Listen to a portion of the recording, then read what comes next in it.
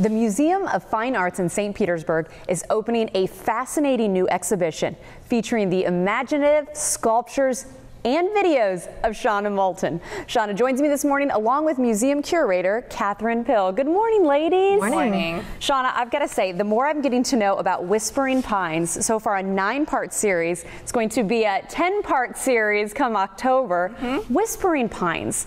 Talk about the name and tell us a little bit about this exhibition.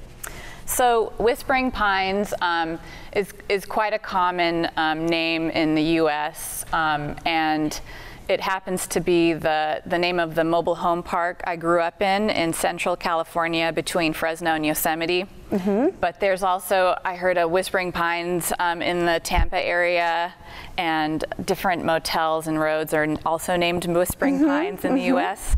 Um, so I thought of it as a sort of um, archetype for um, the series I wanted to create, um, and also a way to connect it to um, Twin Peaks, which was my first art experience as a kid. The, the series um, is about my alter ego, Cynthia, who is really just me with a wig.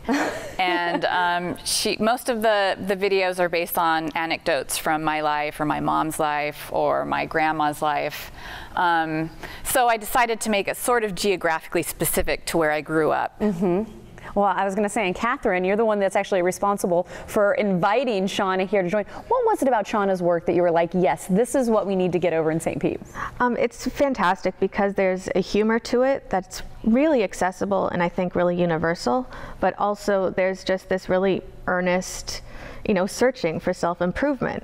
So even though this may be a challenging exhibition for some of our audience, it's the first time we've had an entirely uh, video-based exhibition in our big Hazel Hough wing.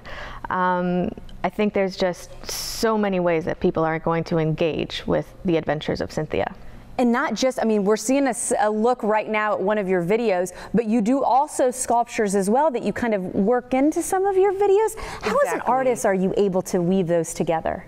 Well, it started with sculptures. Um, when I was a stu art student, I was making um, dresses with medical devices embedded in the fabric. That's an interesting combination. Yeah, and um, that's actually how um, Cynthia, the alter ego, um, originated. It was imagining what kind of person would need to wear a medical um, device-based dress.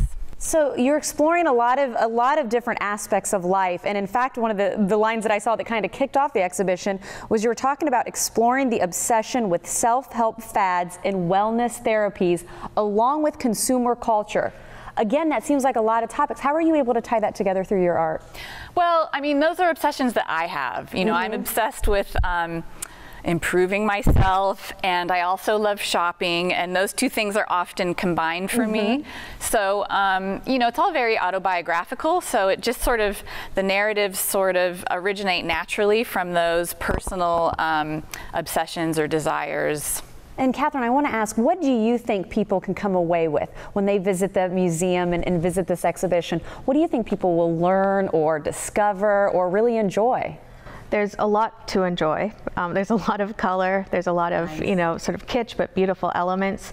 Um, what I love about uh, the work is that it shows that you can make art out of so many different things. Mm -hmm. And I want mm-hmm. people to come away with this sense of storytelling that Shana is so fantastic at.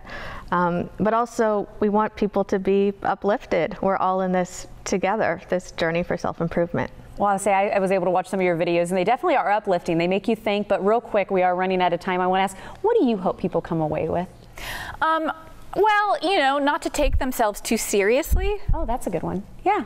That's a good one. And she did it very quickly, too. So thank you very, very much. want to make sure and give some of the details, too, of the exhibit. There you go. Shana Moulton, Journeys Out of the Body. It's going to be running now through October 9th. Once again, it's at the Museum of Fine Arts, which is on Beach Drive in St. Petersburg. Thank you so much, ladies. We appreciate it. thank it. You. Best thank of luck. Thanks.